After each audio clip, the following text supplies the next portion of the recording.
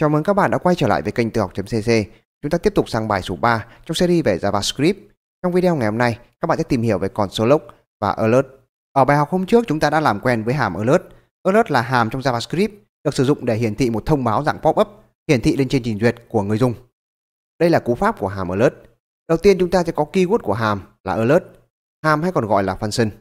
Tiếp đến là dấu mở ngoặc tròn và nội dung thông điệp đặt trong dấu nháy kép. Kết thúc lệnh bằng chấm phẩy.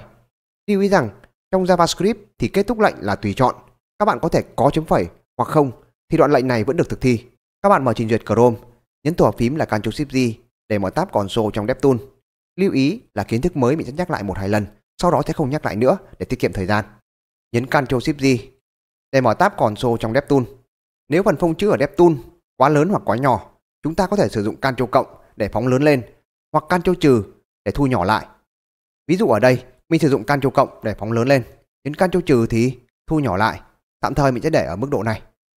Chúng ta sẽ ôn tập lại hàm alert. Các bạn có chữ A, nhấn tab, mở ngoặc tròn, nháy kép để nhập thông điệp. Ví dụ là xin chào, đóng nháy kép, đóng ngoặc tròn. Chấm phẩy kết thúc lệnh là tùy chọn, cho nên nếu không có, khi nhấn enter, đoạn lệnh này vẫn được thực thi. Tuy nhiên mình không khuyến khích sử dụng điều này. Các bạn hãy sử dụng cú pháp đầy đủ là có chấm phẩy để kết thúc lệnh. Có đầy đủ như sau: alert, màu tròn, nháy kép thông điệp, đóng nháy kép, đóng ngoặc tròn và kết thúc lệnh bằng chấm phẩy. Enter. Và đây là câu lệnh đầy đủ. Khuyến khích dùng. Về cơ bản thì các ngôn ngữ lập trình đều có chung một mục đích là chuyển từ ngôn ngữ con người hiểu sang ngôn ngữ máy tính hiểu.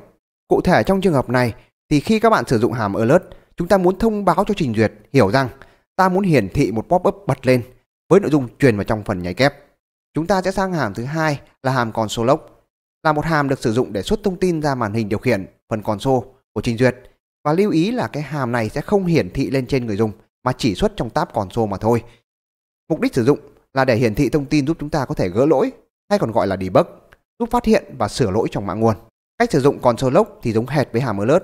Các bạn chỉ cần thay tên hàm alert thành console log. Các bạn gõ vào đây là console, có con này và nhấn mũi tên đi xuống, nhấn tab, chấm này, có chữ L và nhấn tab, màu tròn, nháy kép nhập thông điệp. Xin chào, đóng nháy kép, đóng ngoặc tròn, chấm phẩy để kết thúc lệnh, nhấn enter. Và lúc này thì cái dòng thông báo không hiển thị lên trên trình duyệt mà chỉ hiển thị ở trong tab console mà thôi. Về tài liệu, các bạn search với từ khóa là JS, dấu cách MDN. Các bạn tìm kiếm và click vào Mozilla. Ở trong này là toàn bộ tài liệu về JavaScript mà các bạn có thể đọc để tìm hiểu. Giả sử chúng ta đang tìm hiểu về hàm alert, các bạn kích vào tìm kiếm, có từ khóa tìm kiếm là alert. Và chọn vào hàm alert. Chuột phải chọn dịch sang tiếng Việt để đọc tài liệu.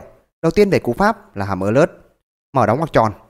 Và trong dấu ngoặc tròn là nội dung thông điệp mà chúng ta muốn thông báo. Kéo dưới. Về cách sử dụng chúng ta có hai cách. Cách đầu tiên là sử dụng window.alert. Và cách thứ hai ngắn gọn hơn, các bạn đã được làm quen là chỉ sử dụng hàm alert thôi. Hãy copy toàn bộ dòng này. Nhấn Ctrl C, chuyển sang tab console. Ctrl V paste vào và nhấn enter. Cả hai đều cho kết quả giống nhau. Ok này. Đây là kết quả của dòng số 2, alert. Ok. Ở trong tab console, khi các bạn gõ xong lệnh, nhấn phím enter thì ngay lập tức dòng lệnh đó được thực thi. Và trong trường hợp chúng ta muốn gõ nhiều dòng lệnh thực thi cùng một lúc, các bạn hãy nhấn shift enter để xuống dòng. Ví dụ mình sử dụng hàm alert A này, tab, thông điệp là xin chào, chấm phẩy kết thúc lệnh. Khi nhấn enter thì ngay lập tức dòng lệnh này được thực thi. Enter. Đúng không? Và nếu chúng ta muốn gõ 2 đến 3 lệnh rồi mới thực thi, các bạn làm như sau. A này, tab này, thông điệp là xin chào, chấm phẩy kết thúc lệnh, nhấn shift enter để xuống dòng. Shift enter. Các bạn sẽ thấy là dòng lệnh này chưa được thực thi. Chúng ta tiếp tục gõ alert này. Tôi mới học DS. Đóng nháy kép này, đóng ngoặc tròn này, chấm phẩy kết thúc lệnh, nhấn shift enter để tiếp tục xuống dòng. Alert tiếp này. Nháy kép tại tự học.cc đóng nháy kép đóng ngoặc tròn chấm phẩy kết thúc lệnh và các bạn sẽ thấy là khi chúng ta nhấn enter thì cả ba dòng lệnh này sẽ được thực thi. Enter này, đầu tiên là dòng đầu tiên. Xin chào, đúng chưa? Tiếp đến là dòng thứ hai là tôi mới học JS này. Và tiếp đến là dòng thứ ba tại tự học.cc ba dòng lệnh này được thực hiện theo thứ tự từ trên xuống dưới. Cách làm này có một nhược điểm là nếu chúng ta vô tình quên giữ ship và nhấn enter thì ngay lập tức toàn bộ khối lệnh chúng ta đã viết sẽ được thực thi. Và chúng ta sẽ phải cốt lại toàn bộ cái phần mà chúng ta đã viết trước đó. Để khắc phục vấn đề này, chúng ta sẽ sang mục 4 thay vì dùng tab console các bạn hãy chuyển sang tab sources và New Snippet để tạo ra một file mới. Thay vì ở tab console, chuyển sang tab thứ hai ngay cạnh nó, Sources. Click vào này, chọn vào New Snippet và đặt tên. Ví dụ mình nhập vào đây là bài 3. Enter. Bây giờ trong khung soạn thảo ở phía bên phải, các bạn có thể nhập bao nhiêu dòng lệnh tùy thích. Ví dụ alert. Thông điệp là xin chào. Chấm phẩy kết thúc lệnh. Thứ hai này, enter số bình thường nhá, alert. Tôi mới học. GS. Chấm phẩy này, enter, alert. Tại tự học.cc. Chấm phẩy này, con số lốc này. Nhảy kép này. Đây là thông điệp.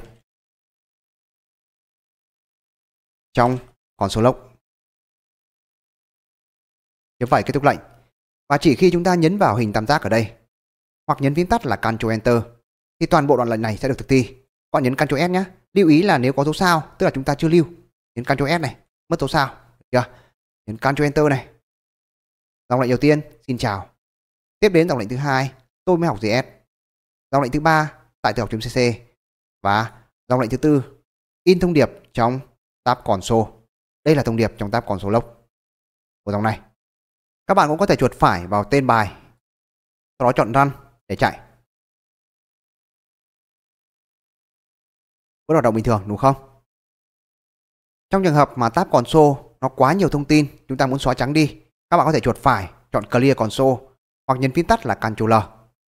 Đây là tab console, kích chuột vào đây, nhấn Ctrl L để xóa toàn bộ nội dung. Xóa lốc này, Ctrl L. Hoặc là mình thử chạy lại nhé. Chúng ta có thể chuột phải vào đây và chọn Clear Console tương tự. Các bạn có thể lưu cái bài ba này vào một thư mục để sau này chúng ta có thể xem lại và dễ quản lý. Chuột phải chọn Save As và truyền vào cái đường dẫn mà chúng ta muốn lưu. Ví dụ mình nhập vào một đường dẫn ở trên ổ cứng và nhấn Save lưu lại. Khi mở thư mục vừa lưu, chúng ta sẽ thấy có bài 3.js. Chuột phải và mở với Notepad cộng cộng. Đây là phần code chúng ta đã code. Lưu ý là Notepad cộng cộng là một phần mềm miễn phí. Các bạn có thể tải Notepad cộng cộng này. Kích vào download này. Đây, tải bản mới nhất về nhé. Bài học hôm nay sẽ tạm dừng ở đây. Mình sẽ review lại toàn bộ phần kiến thức trong bài học để các bạn tiện ôn tập. Ở bài học sau chúng ta sẽ tìm hiểu cách để có thể nhúng file JS vào trong HTML. Hẹn gặp lại các bạn trong clip tiếp theo. Cảm ơn các bạn đã quan tâm theo dõi và chúc các bạn thành công.